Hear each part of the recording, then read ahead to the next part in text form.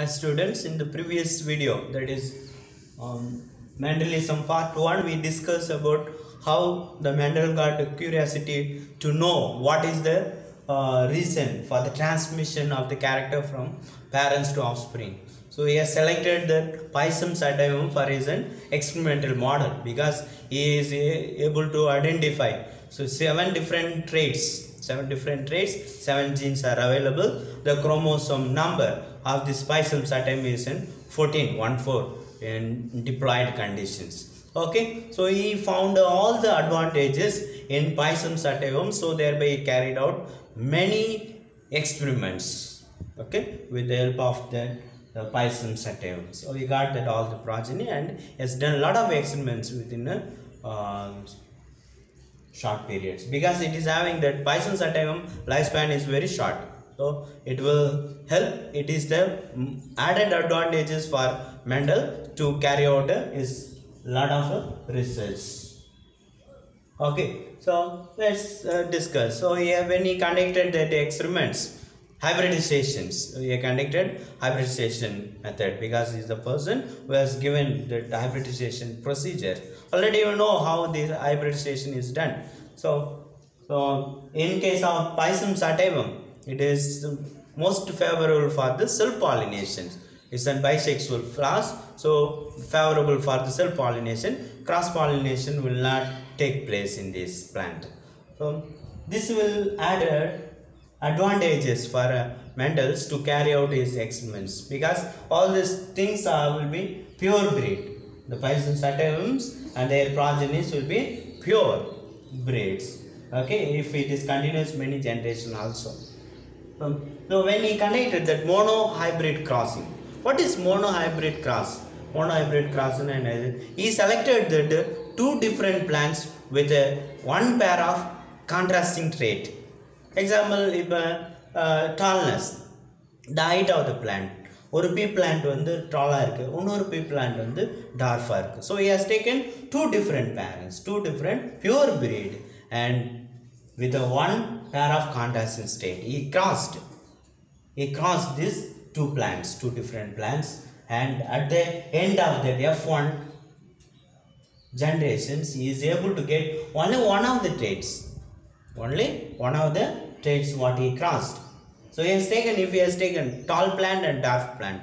So this tall is a pure breed and dwarf is also pure breed. When it is crossed, the F1 generation, he was able to find out all the plants are tall. All the plants are tall. So none of the plants in F1 generations resemble the recessive trait. So thereby he got that idea. Okay, certain this traits will have the similar homozygous alleles or it may have the heterozygous alleles in the F1 generation. So in, uh, he identified F1 is a hybrid because he has gone for the cross pollination. So one of the trait expressed phenotypically. So thereby the tallness is expressed over the darkness. The darkness allele uh, not able to express and it became the recessive and this capital letter T that is a dominant allele which is able to express it became the dominant and it became the dominant allele. So in F1 generation all the plants are tall. All plants are tall. Okay. Here get the confusion to further go on because this F1 we call it an hybrid and he is able to identify the tallness but he was not very sure whether this the genotype of the F1 will be having the homozygous conditions or heterozygous. He has concluded is a heterozygous. Still, when you go for the F2 generation, you we find very difficult to identify the genotypes. So, in order to clear his doubt, whether in order to clear that he is going on the right track, he has selected the homozygous pure plant. So, he wanted to do certain experiments that is test cross. So, in the test cross, he has taken the F1 generations. He has taken the F1 progeny and crossed with the recessive traits of the plants. He has taken the F1 progeny and crossed with the recessive traits of the plant. That is the test cross. Always the test cross. In test cross, F1 progeny crossed with the recessive traits of the plant. Okay, then F1. So F1 I have written here capital letter T and another one is in question mark. The because it since it is expressing the tallness, tallness maybe it may have that pure homozygous or it may have heterozygous. Based on my observation, based on my observation, I can say okay, it is an heterozygous because we have taken two different. But how come when we go for the F2 generation, how come we are able to identify this is completely a homozygous genotype? It is completely a heterozygous genotypes. So though it express that phenotype characters. Okay, so thereby I have written here question marks. So I want to keep it here the pure. The allele is in capital letter pure, the similar. When I keep that one, when I cross with the recessive traits, I am able to get all the things, all the offsprings are tall. All the offsprings, okay, all the offsprings are tall, so it is an homozygous. It is an homozygous. Okay, when the F1 that is TT is crossed with the recessive traits, the F1 crossed with the recessive traits, and if it is an homozygous, if that F1 hybrid, if F1 genotype is an homozygous, and I may get it and all the plants are tall. Okay, so I want to check it where it is in. I change. I have kept it one dominant allele and another one recessive allele. So this one dominant allele and another one recessive alleles. When this things is crossed with the recessive traits, I am able to get 1 is to 1 ratio. 1 is to 1 ratio. I am able to get equal proportions of the tall plants as well as, as, well as the dwarf plants. Okay? I am able to get equal proportions of the tall plant as well as dwarf plants if it is heterozygous. If it is a heterozygous. Do you understand what I am saying? So in this cross, if this F1 genotype is an pure homozygous and it is crossed with the recessive trait, then uh, the offspring of that will be only tall. Will be only tall. If that F1 genotypes is an heterozygous crossed with the recessive trait, then it will give a equal proportions of tallness and dwarfness. So this is one of the way to find out whether the genotype of the expressed phenotype is homozygous or heterozygous. Okay, so he has conducted another crossing also back cross. So in back cross, he has taken F1 hybrid. He has taken F1 hybrid. So F1 hybrid now we know that is okay. This F1 hybrid is crossed with any one of the parent. Any one of the parent. Maybe tall parent or maybe dwarf parents. Okay. Suppose if F1 hybrid. So this is an F1 hybrid. Suppose if it is crossed with the pure homozygous tall plants. What will happen here? We know very well what will happen. Okay. So all?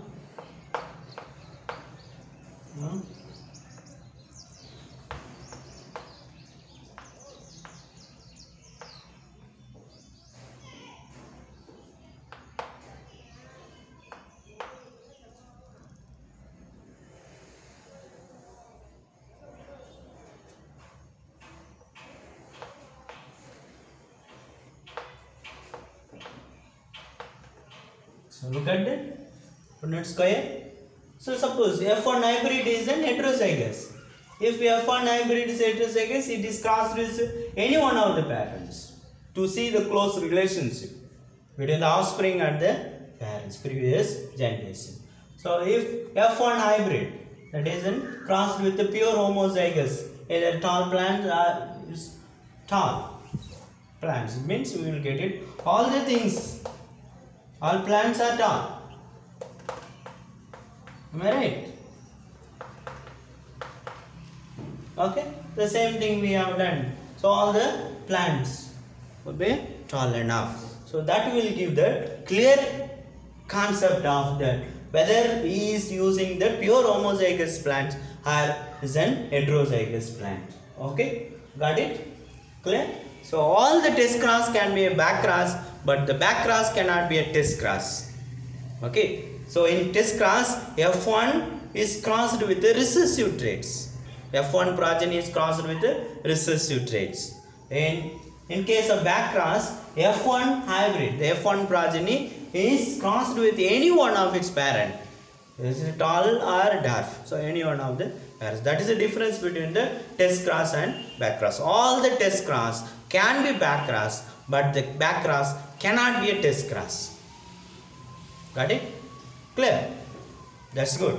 So we have seen the monohybrid and uh, in order to find out the genotype of the unknown plant, unknown tall plants. In order to identify the genotype of the unknown tall plants, we have done the test cross. Okay, we have done the test cross. So in the test cross, it shows all the plants are tall enough.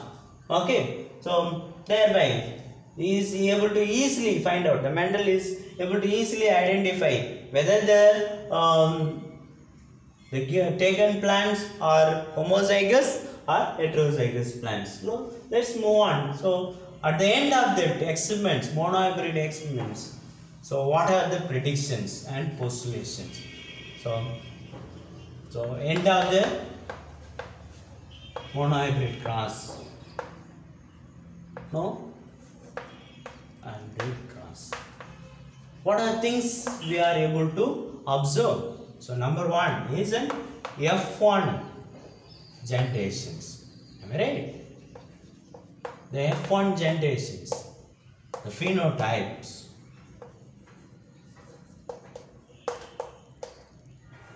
All are tall. All plants are tall. F1 generation phenotype. All plants are tall enough. Okay. So F1 phenotype ratio. Ratio. What will be F1 phenotype ratio? So that is 3 is to 1. So 3 plants are tall, 1 is a dwarf. Clear? This is the phenotype. The number of phenotypes. Number of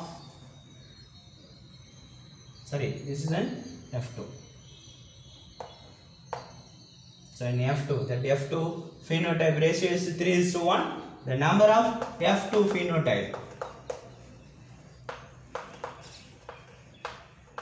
is 2. Okay. Tall and dwarf.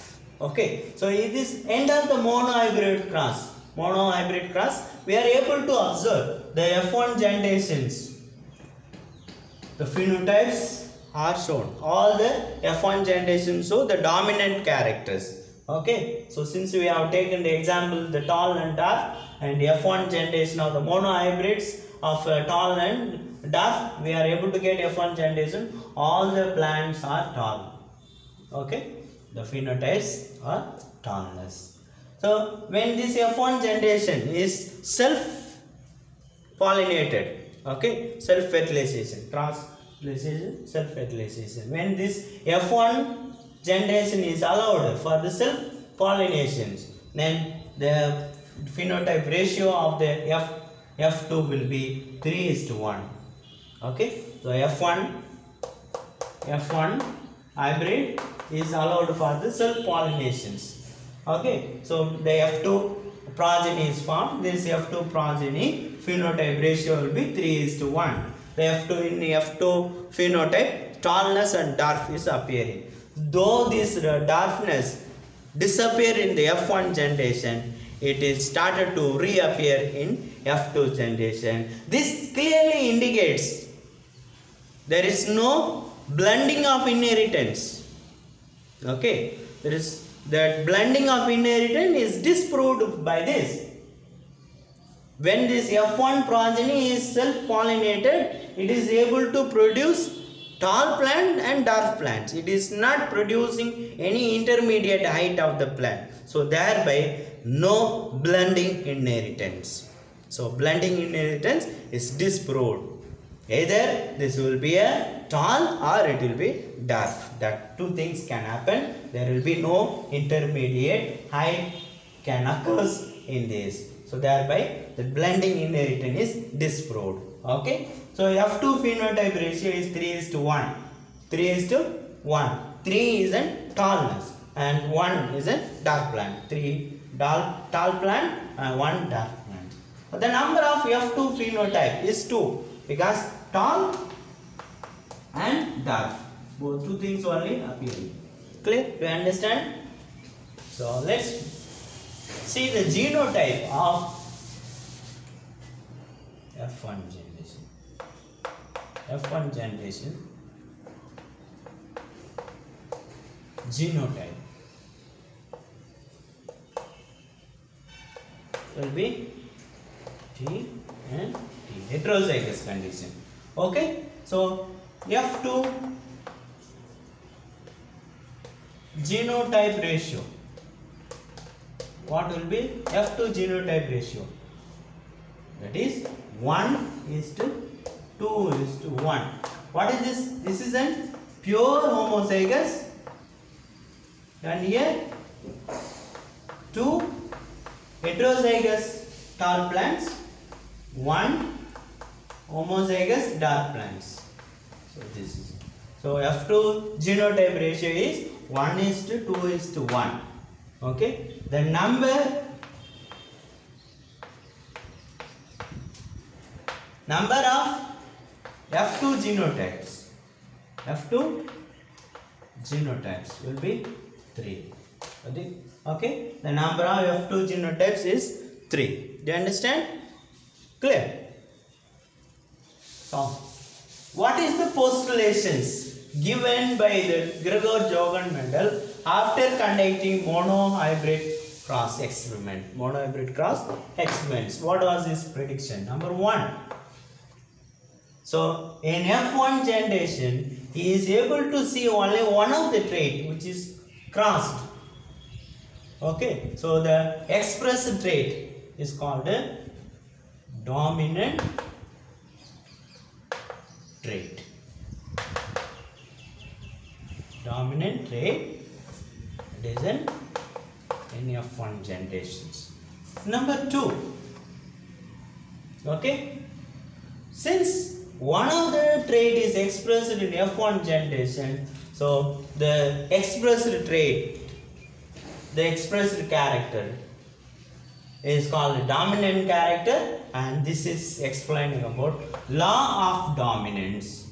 Law of dominance. When two different plants with a uh, one pair of contrasting trait or when two different plants with the two pair of contrasting traits is crossed and all these things in F1 generation they produce only one of the trait or only one of the trait is appeared in the F1 generation. So the, this is explaining the law of dominance. According to the law of dominance, when two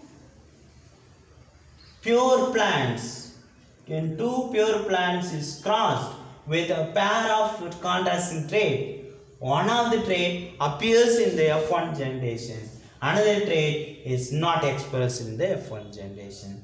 So the appearance of the trait is known as a dominant trait, which is not appeared, which is masked by the dominant trait, is known as recessive trait. However, these recessive traits disappear in the F1 generation, they are able to reappear in F2 generations.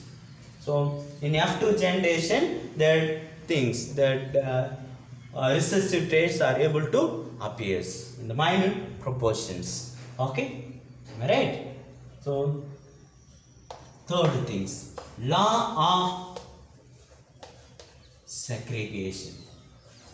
Law of segregations. Okay, what is law of segregation?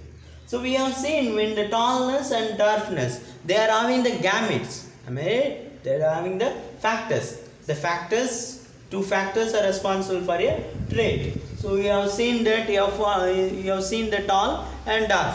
Okay. So since they are homozygous, pure line, and only one of the alleles enter into the gametes. One of the allele enter into the gametes. So thereby we have written so T dt and here dt. So one of the gametes enter into the fusion during the gamete formation. So this one of the allele enter into the fusion. So thereby it forms an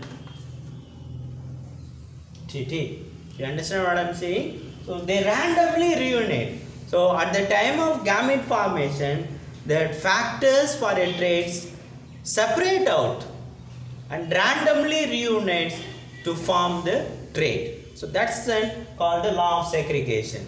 So law of segregation. This is an keep it in your mind. This is a tallness. Okay, factor responsible for the tallness. This is factor responsible for the darkness. Okay, since these are all homozygous, uh, only one factor will enter for the fusion process, the gamete at the time of gamete formation. So one one allele, one allele entered for the fusion process at the time of gamete formation. So from dwarf also one allele enters. Okay, they forms the trait and the trait is an heterozygous. Do you understand what I am saying? So the factors separate out at the time of gamete formation and they randomly reunite to form a trait. To form trait. This is we call it a law of segregation. This is law of segregation or law of purity. Law of purity. Okay. So he is able to postulate certain things. Number one is in F1 generation only one of the trait will be expressed. Okay. So the expressed trait is always called the dominant trait. But when uh, when it, the F1 generation is self-pollinated and the F2 progeny will be having the recessive trait as well as a dominant trait. Okay. So based on that he has given law of inheritance that is a law of dominance. So another law is a law of segregation. So at the time of gamete formation, the factors for a trait separate out and randomly reunite to form the trait. That's we call it a law of segregations. Okay, here one no blending inheritance take place. Okay, so completely they are working out.